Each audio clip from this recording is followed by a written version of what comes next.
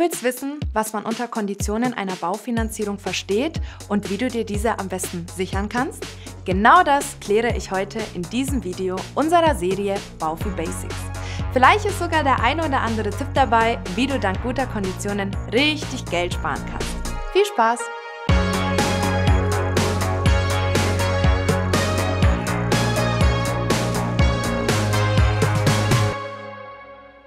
Herzlich willkommen zu Baufi Basics von Interhyp.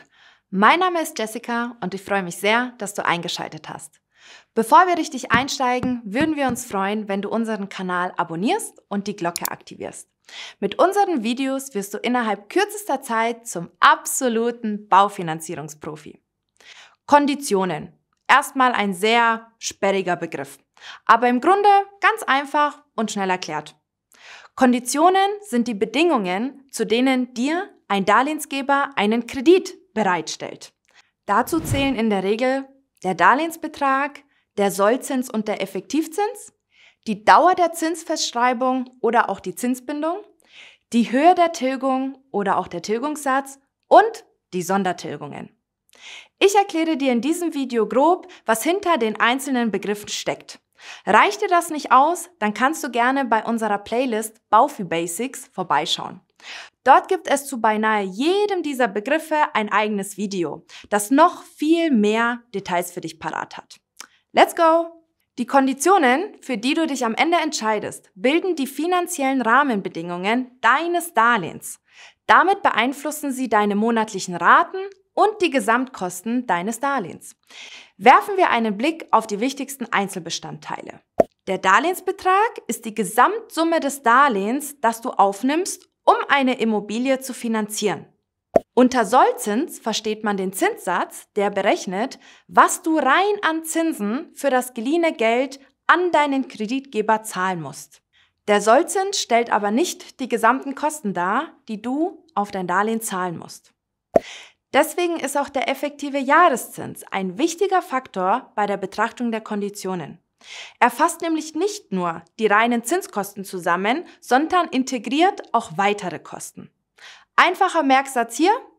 Der Sollzinssatz entspricht der Kaltmiete, der Effektivzinssatz der Warmiete inklusive aller Nebenkosten.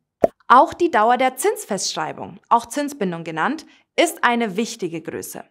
Damit wird bestimmt, für wie lange du dein Darlehen zum vereinbarten Zins abbezahlst. Der Tilgungssatz legt fest, wie viel Geld du monatlich zur Tilgung deines Kredites zurückzahlen musst. Dazu kommen dann zusätzlich die Sondertilgungen.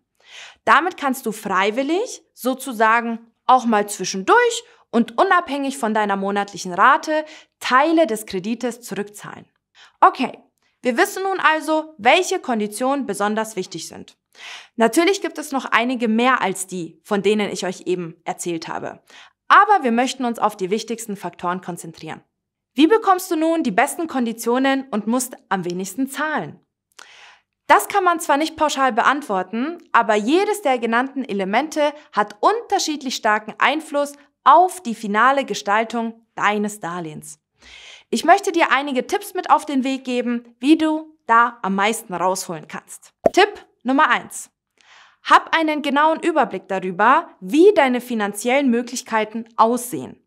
Wählst du eine Darlehenssumme, die du mit deinem Einkommen nicht stemmen kannst, dann wirst du entweder sehr schlechte Konditionen oder möglicherweise auch eine Absage bekommen. Grundsätzlich gilt, umso weniger Risiko für den Darlehensgeber, umso günstiger fallen die Konditionen für dich aus. Tipp Nummer zwei. Vergleichen, vergleichen, vergleichen. Darlehensgeber bewerten das, was du mitbringst, teilweise sehr unterschiedlich.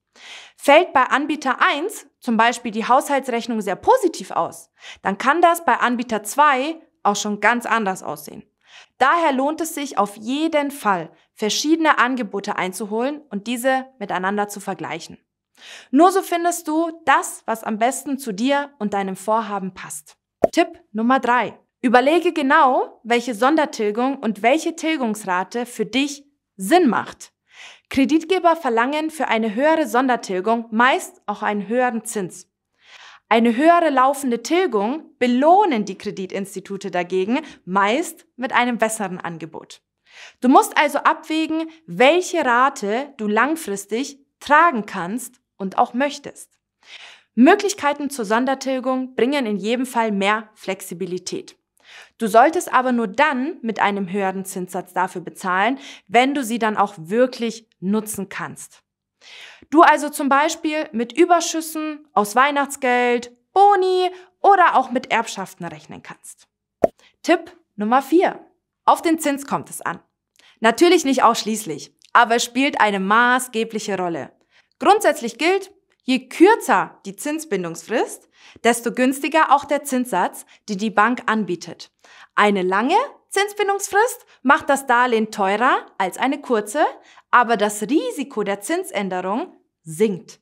In jedem Fall kann ein Finanzierungsberater oder eine Finanzierungsberaterin berechnen, wie hoch die Zinsen steigen müssen, damit etwa eine 15-Jahres-Kondition günstiger ist als der Zinssatz für 10 Jahre. Tipp Nummer 5. Kreditgeber haben Wünsche. Vielleicht erfüllst du aber auch einen davon. Eine gute Schufa, keine Probezeit mehr bei deinem Arbeitgeber oder ein hoher fester Gehaltsanteil spielen dir auf jeden Fall in die Karten. Mit diesen Voraussetzungen reduziert sich in den Augen vieler Finanzierungsgeber das Ausfallrisiko für deinen Kredit und du kannst somit auf bessere Konditionen hoffen. Ich hoffe, ich konnte mit diesem Video viele deiner Fragezeichen beim Thema Konditionen aufklären. Du hast trotzdem noch Fragen? Dann bitte ab damit in die Kommentare. Wenn dir das Video gefallen hat, schau gerne auf unserem Kanal vorbei und lass auch gerne ein Abo da. Danke fürs Zuschauen und bis zum nächsten Mal.